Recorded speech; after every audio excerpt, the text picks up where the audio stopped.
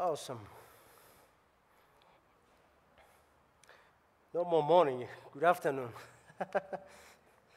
we are so glad to have this privilege to teach God's word this morning. As you can see, Pastor Josh is not with us this morning uh, or this afternoon.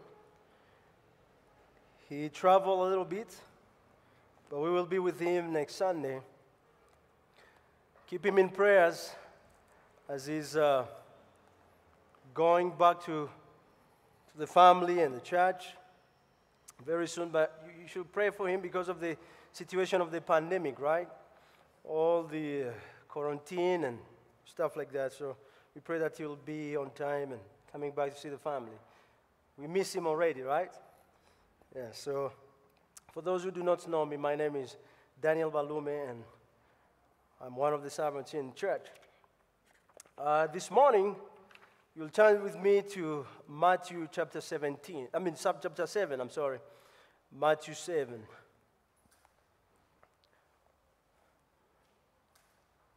Matthew 7, we will read from verse 24 to verse 29. Matthew 7. Let's read together. Therefore, everyone who hears these words of mine and put them into practice is like a wise man who built his house on the rock. The rain came down, the streams rose, and the winds blew and beat against the house, yet it did not fall, because it had its foundation on the rock. But everyone who hears these words of mine and does not put them into practice is like a foolish man who built his house on sand. The rain came down, the streams rose, and the winds blew and beat against the house, and it fell with a great crash. When Jesus had finished saying these things, the crowds were amazed at his teaching because he thought as one who had authority and not as their teachers of the law. Let's pray. Lord, thank you. We praise your name for such a privilege to hear your word, to learn your word.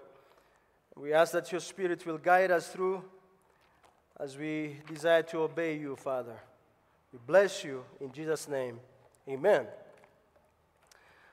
As we all well know, that this is the co- concluding words that the Lord Jesus Christ is teaching uh, concerning the greatest, one of the greatest sermons uh, that has ever been preached.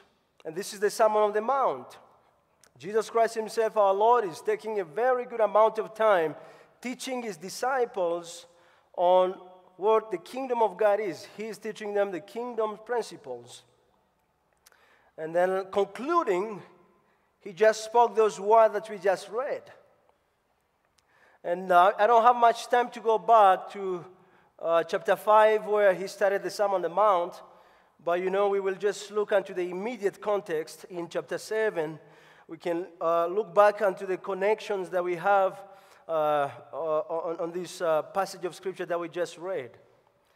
You know, previously the Lord had given people few contrasts, and some of those contrasts we see, He's contrasting a narrow gate to the broad gate. He says that narrow narrow is the way uh, actually he says enter through the narrow gate for wide is the gate and broad is the road that leads to destruction. So there is this narrow way, narrow gate, that is being constructed to uh, the broad way and the broad gate. And you find some things interesting on these two contrasts. Here, he says that uh, this narrow gate, few people are finding it. And it's, it's leading to life. But, but the, the funny thing is that few people are finding this, that which is leading to life. Few people. And you see, this other road, this other gate, this Broadway, this broad gate that is leading to destruction, it is too popular. So many people are finding it. So many people are found in there. A very broad way, and a very broad gate. They are going into the popular things. And, and he says that those who are following the narrow gate are the sheep, the true followers of Jesus Christ. But those who are going to the broad gate, the destructive way, are wolves. They are false prophets. And we all know, we all know for sure how this movement that are investing into entertaining messages, the messages that are not in line with the true foundation of our life, the Word of God, we know for sure how broad these ministries, these movements are. They are so large, they are so big, they are so popular, they're well known because they carry out the popular views. But only to lead people to destruction. And we see this other way that is too narrow. Few people are following after it. See, Peter says in his letter that scoffers are making or are putting God's word into disrepute. They are inventing stories and fables, and they're making them famous. But God's word is becoming less famous into pulpits. And we see there are contrasts here. He contrasts these two groups. He says that one is a good tree, and we see the good tree bears good fruits. That good tree bears good fruit because it does the will of the Father. That those who do the will of the Father. And we see this bad tree. The other tree is bad, it's, and it bears bad fruits. Evil. It does evil things. It does iniquity. And that's why Jesus Christ said, Be aware of false prophets. Be aware of false teachers. They come in, clo- in the sheep clothing, but inwardly they're just ravaging wolves. They are coming to ravage. They are coming to destroy. They are coming to kill. As the mission of their father is to come and steal, kill, and destroy. The Lord says that be aware of those people. it is irresponsibility if a Christian does not want to be aware of false teachers and false teachings. Because the Lord, right there, is giving us a responsibility to know these false teachers, these people who are coming to steal the joy. As you know, last week, Pastor Peter took us through Philippians chapter 3, and he talked about in the beginning there, Paul saying that rejoice, rejoice in the Lord. And right after that, he says, be aware of dogs and pigs. dogs and pigs. Why? Why should we be aware of dogs and pigs? We are rejoicing, but why should we be aware of these dogs and pigs? Because they are coming to steal the very reason of our rejoicing. They are teaching us something else. They want to build our lives on something that is not the true foundation. And he says, Be aware of them. It is my responsibility and yours to be aware of these dogs and pigs, false teachers, false prophets. They, they know how to say the name of the Lord. They believe that we have one God. The Bible says in James that they do well because even demons know that for sure and they tremble. they say that these false preachers, you know, they spend all their life and all their ministry Casting out demons in the name of Jesus Christ. We cast out demons in the name of Jesus Christ. I prophesy to your life in the name of Jesus Christ. Miracle is happening. And you guys know this tonation, don't you know it? Sounds like a pig, right? It's like a dog. In the name of Jesus Christ. It's all those kind of things. We, we know them, right? We know them. But you see, they are spending all this time, all these calories, changing their voices, and only there to see that the Lord says that depart from me because I never knew you, you evildoers. What a sad thing. You spend all your life talking about Jesus Christ, saying to people that you believe in Jesus Christ, only for Him to tell you, Depart from me, you evildoer. I don't want to be there, and we don't want to wish that for us here. That's why we are going to learn the Word of God and make sure we establish our life on true foundation, on the true rock of our salvation.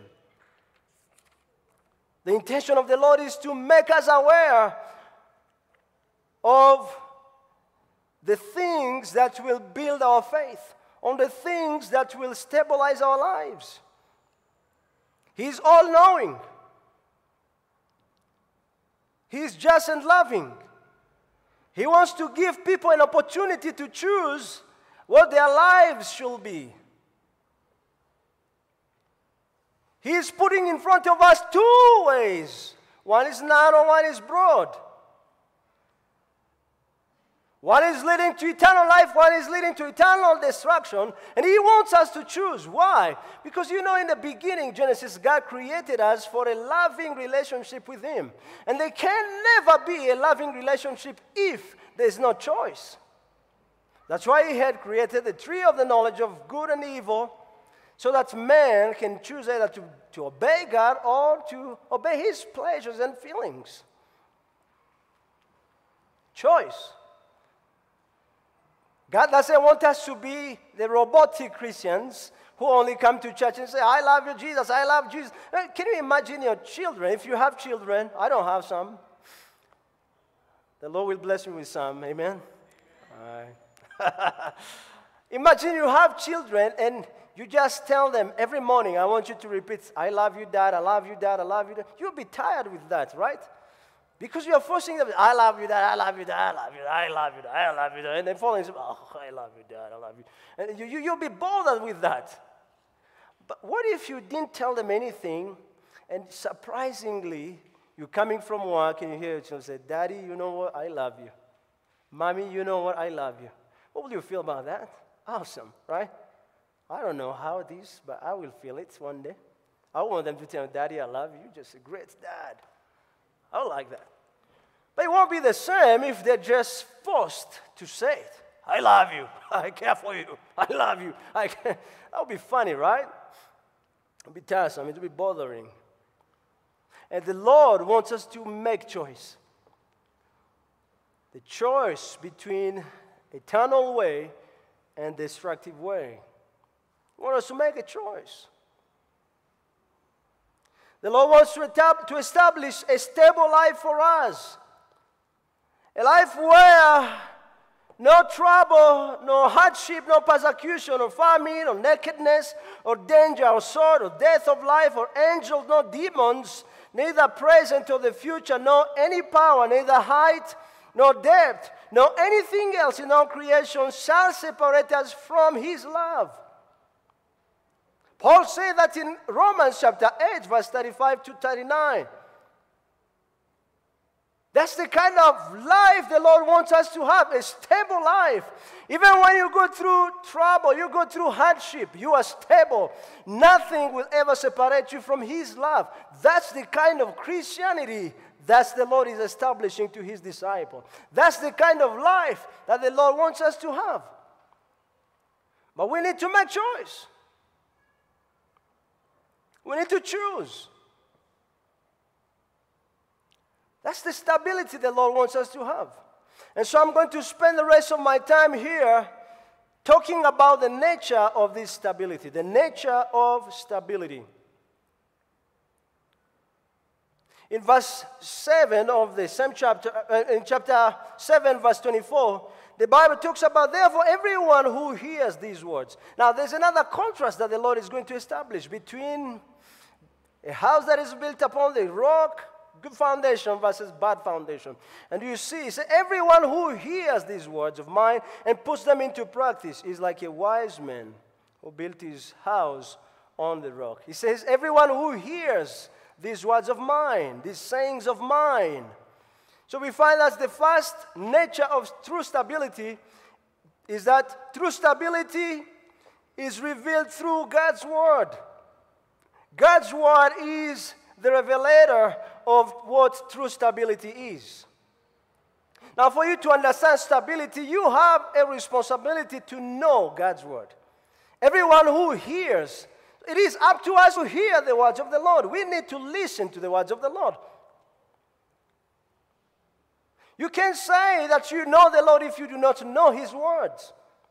He wants us to know His words, He wants us to understand His words. Because from the Word of God, we find the perspective of what stability is. And He wants us to have a stable life.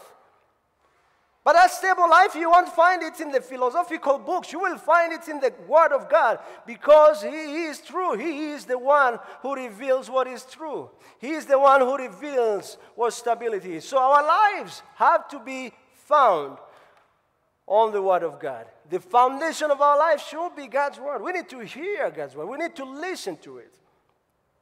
And therefore, we will know what true stability is. Actually, in Luke chapter 6, verse 45, 47 to 48, he talks about the Samson parable, but he says that this wise man went up and dig.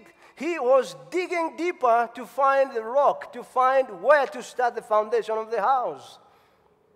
Digging deeper. We need to, get, to dig deeper into the Word of God. I thank God because the team of our church is growing deeper together. We need to go deeper into God's Word, hearing God's Word from the very heart of the, of the Lord Himself.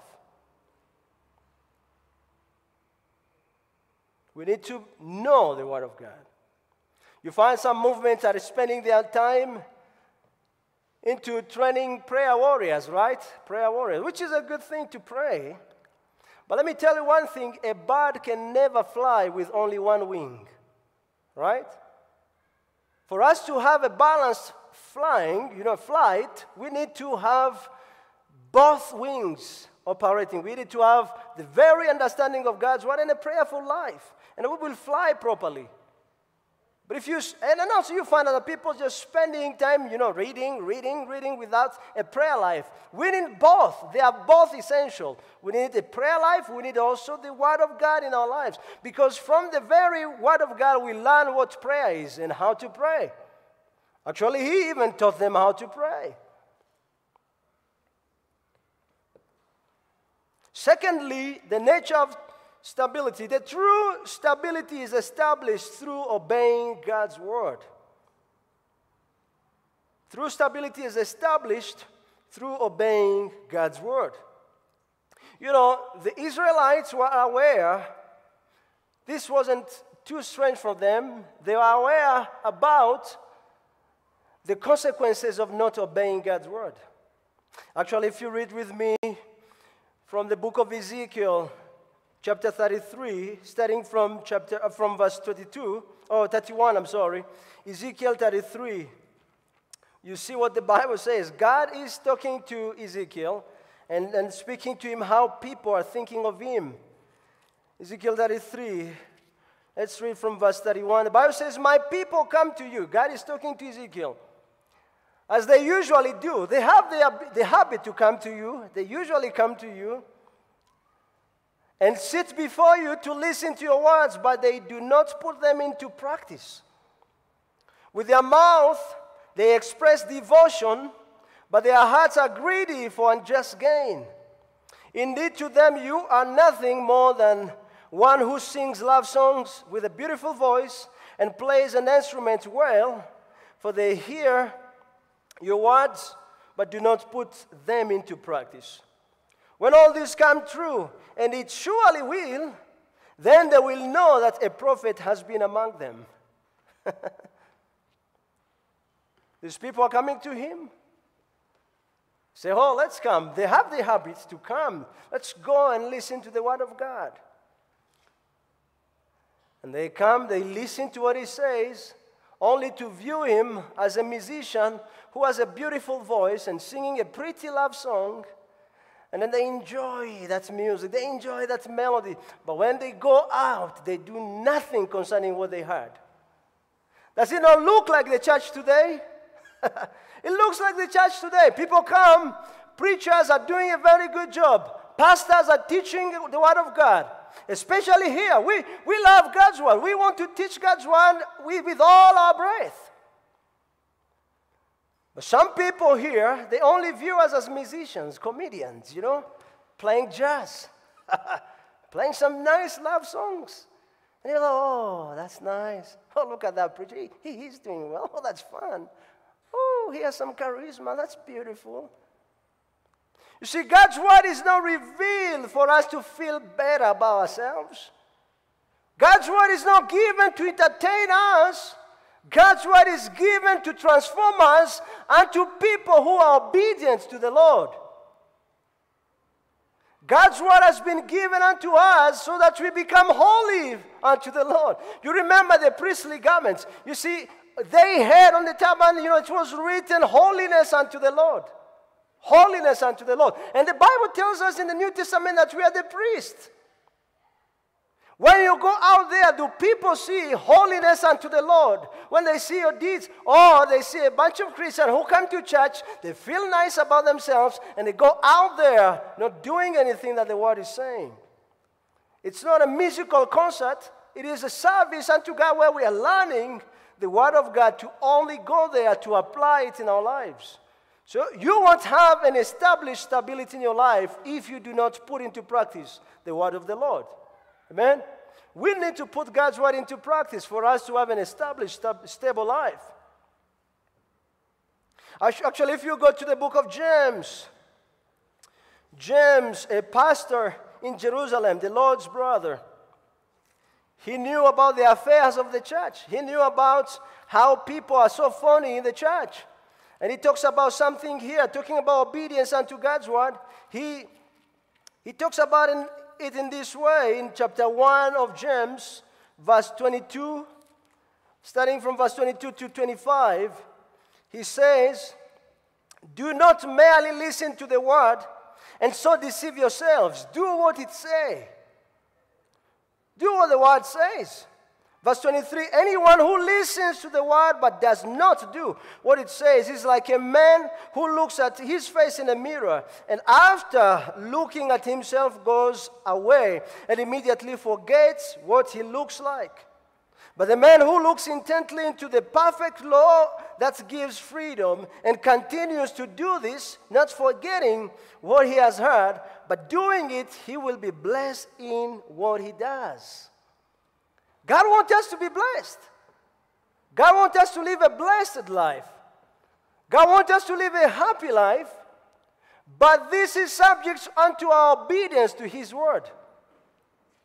We need to look unto the perfect law of God and do what it says.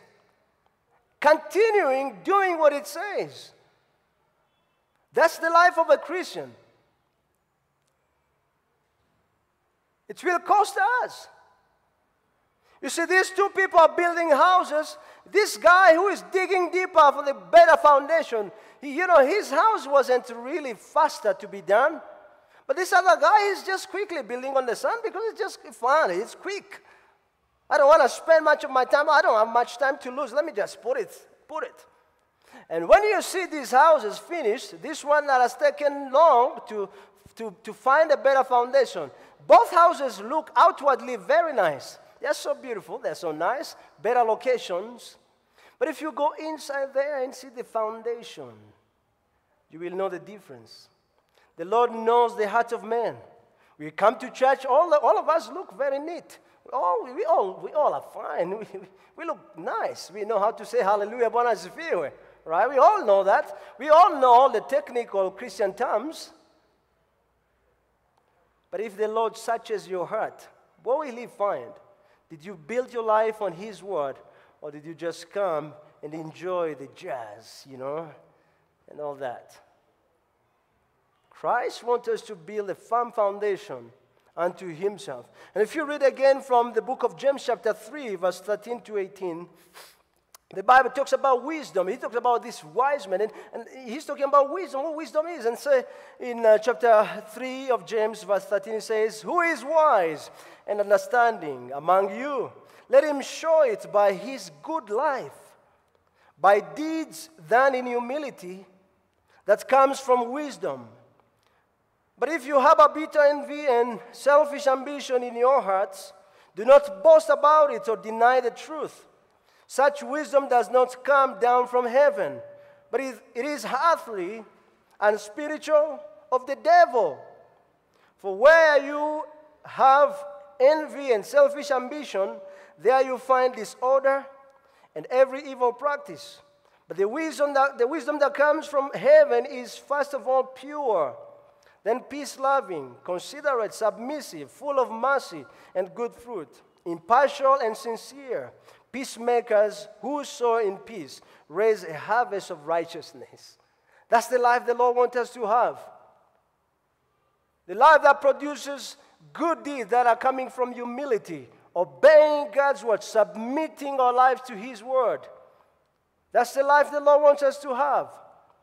So many people come to church, you know, they convince themselves, oh man, I'm saved, I'm saved. Hallelujah, praise the Lord, I'm saved. They, they have communion. They, oh, yes, I am saved, I'm good. See, Charles Spurgeon says, do not think of yourself saved from sin if you're still living in sin. Don't think of yourself that you're saved from sin while you're living in sin. That's what we find in church. People coming say, Praise the Lord, hallelujah. But when you go out there, what a kind of life we're living. Do people see somebody who has established his or her life onto the Word of God? Other people see phony Christianity that brings shame to the name of Jesus Christ.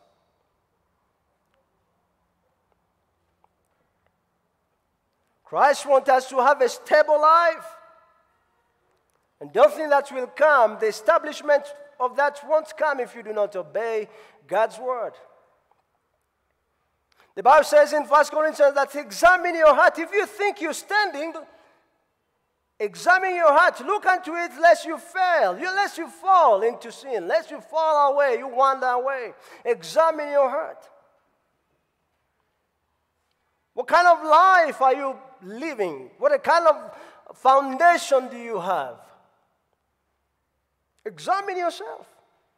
Maybe you think, I'm a Christian, and your life is the very opposite of what Christianity is. The Lord wants you to break that and make, make a better foundation. Why? Because storms are coming, winds are going to blow, rains are coming, streams are coming. When they are hitting your house, your life, will they find that your life is unshakable? Or will they blow it down? And the Bible says that it's a great loss. A great loss. When this unwise guy has built a house upon the sand and you know the winds are blowing on it, when it fails, it's, it produces a very, very, very, very bad loss. Can you imagine you invest all your life into building only to build onto the wrong foundations? Your life, your rules, your body, your choices. God wants us to rebuild again onto the foundation the Word of God. Lastly, talking about the nature of true stability. Christ's authority is the certainty of true stability. We are certain of the true stability in Him because of His authority. The Bible says in chapter 7 of Matthew, uh, verse 29, he says, actually starting from verse 28, he says, When Jesus had finished saying these things, the crowds were amazed at his teaching because he thought as one who had authority and not as their teachers of the law. authority. Authority. As the worship team is coming up, you see, the Bible says that Jesus Christ had authority, not like their teachers of the law. Their previous teachers of the law, you know what they were doing? They were quoting other rabbis. Rabbi so and so said this and this. Rabbi so and so said this and this concerning this matter. but Jesus Christ wasn't doing that. You know what the law was doing? The law was saying, You've heard people saying this and that and that, but I say unto you, I say unto you, I am, I am the one talking to you. I am God giving you the true principles of life. the authority of Jesus Christ. The Bible calls him in Revelation that is the Amen. He's sure in what he says. If he's saying that there are storms coming, if he says that there are rains coming, that will blow onto this world, he knows what he's talking about. He knows that judgment is coming. And by the way, judgment is starting onto the house of God. It's dangerous, you know. People think that it's fun coming into God's house. But judgment will start with us. What is your life founded on to? Will determine if your life will stand when the winds and the storms blow. We are sure that our foundation is firm if we believe in the Word of God that has authority. It is authoritative. He wasn't just quoting people, he was quoting himself. Actually, he said that I did not come to take away the law, I came to confirm it. I came to make sure that you know the very intention of the law. All the law was written just about Jesus Christ. What is your, the authority of your life? Where do you find authority from? Where do you find decisions making from? Christ is giving us a chance today to make a better choice. Storms are coming. What if you die today? What will you say before the Father? Will you, say, will you, will you tell him that, Lord, I was faithful in giving my offerings? I was faithful into, you know, shaking hands in the church. You see, all our good deeds are only filthy rags before God. If you die today and your life is not founded on Jesus Christ, you'll be blown into hell. Christ wants you to make a better choice. Christ doesn't want us to have phony Christianity. Christ wants real Christianity. Christ wants the very people who are Christ like the followers of Him. And that is a stable life. What will you gain if you lose your life because of the love of the world? They give you the whole world and you only to lose your life eternally into hell. The Bible talks about something in the book of Revelation. If you start reading the book of Revelation, you will find in the beginning, that you know, the, the, beginning chapters, the word of the Lord is emphasizing, blessed are those who hear and read the words of this book of prophecy. You know, blessed, blessed are those who hear and read. But at the end, in chapter 22, verse 7 of Revelation, the Bible says that blessed are those or everyone who keeps the words of this book of prophecy. Keeping is a key. We have a bunch of people everywhere in the world who, who are very good scholars of the word. They know, they know theology, they know everything concerning Jesus, and they, they know he was a very good rabbi, convincing rabbi. But the difference is they don't keep what he says. Keeping the word of God. That's what will make you, will make you sure, knowing that my life is stable. Even if I die today, I know that my Savior lives. Even though we'll go through troubles, waves, and storms of life, we know that we are stable in Jesus Christ. When wars are everywhere in the world, we know that we have peace in Jesus Christ. We know that for sure, for sure. Peter says that make sure of your calling, of your election. Make sure where you stand. Make an examination today because God wants you to have a very stable life, a very stable Christian life. You know, for sure, if I die today, I know where I'm going to. We saw in the pandemic, we are, we are seeing things. People are agreeing with the, the, the, the funny governments of the world saying that we should close the house of prayers because we care for the people. Where do you find your authority from? You find your authority in the politicians, they will disappoint you. If you find the authority from God's word, it tells us very well that we should not forsake the coming together of, uh, uh, you know, the assembling together of believers. Why? So that we stir up everyone toward love and good deeds. When people say, oh, they don't care, they don't care. Calvary Chapel, a bunch of careless guys. We're not. We care for you because we want you to have a stable life. Even during pandemics, even during anything that can come to your life, you know for sure I live and I am standing in Jesus Christ, the rock of my salvation. He is the anchor of your salvation. The Bible says again, set aside Christ as Lord into your life. That's what He wants us. That's the foundation He wants us to have. It will be foolishness not to have our lives built upon Jesus Christ.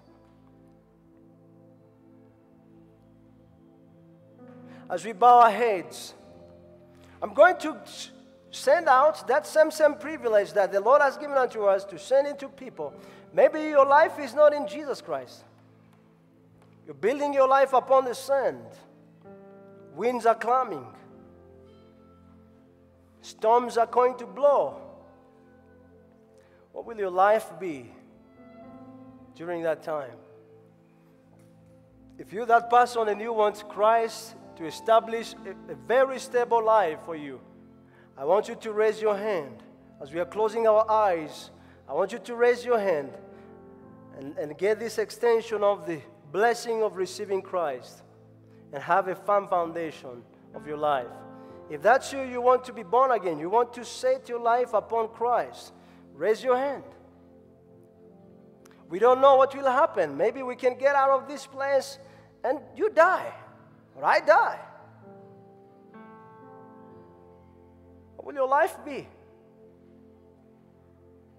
If that's you you say, Lord, I want to give you my life, I want to build my life upon you, Jesus, just raise your hand and we're going to pray for you. We're going to love you. Thank you. I see one hand there. Thank you, brother. Anybody else who wants to receive the Lord? You find that your life is not really built on the Word of God it's the very opposite of what scriptures talks about concerning life. And you want to change that. Christ is extending that opportunity to you. Just raise your hand and receive him. Don't be ashamed of him before men. Because he will be ashamed of you before he, I mean, in the presence of his Father. The Lord himself says that. So if that's you, you want to receive Christ, you want to give him your life, just raise your hand. Anybody else? Anybody else?